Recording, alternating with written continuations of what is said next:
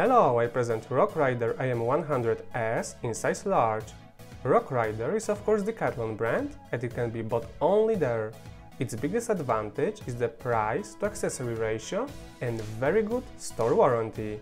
So when something breaks, you can just go to any Decathlon and they will most likely either repair it or replace broken part with a new one.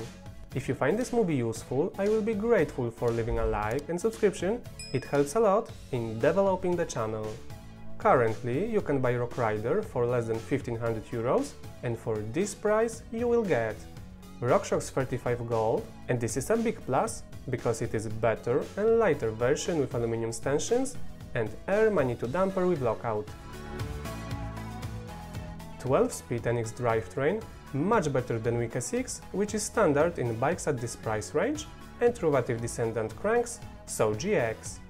Wheels are heavy Sunringle 30 with small internal diameter of 26mm with hubs on cartridge bearings. This 100 is slightly different from stock bike. It has better, tubeless Maxxis tires, light, specialized Bridge Comp saddle and Shimano GR400 plastic pedals with replaceable pins. Brakes are a mix of Shimano XT, SLX and Deore.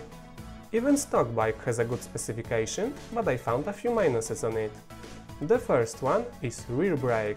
Stock Rockrider has two piston caliper at the rear and small 160mm rotor, which is definitely too small for all mountain bike. After installing 180 disc, it turns out that the caliper does not fit into the rear triangle. Of course, it can be sanded down, as in this case, or you can install even larger 200mm disc. I think that another minus are cables attached under the down tube.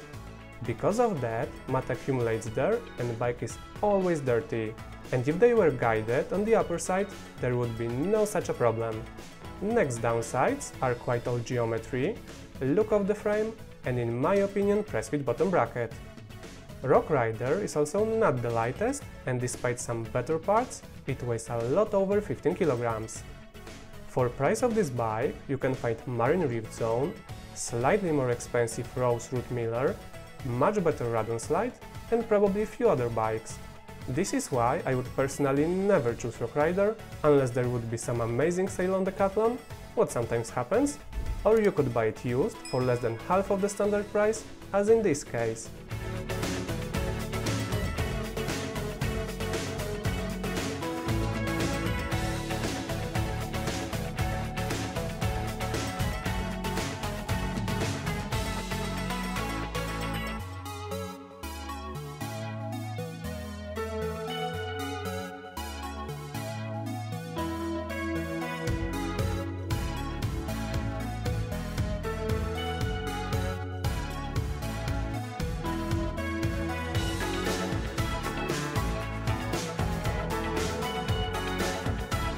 Thanks for watching. If you have any questions or anything to add, feel free to leave a comment. See ya!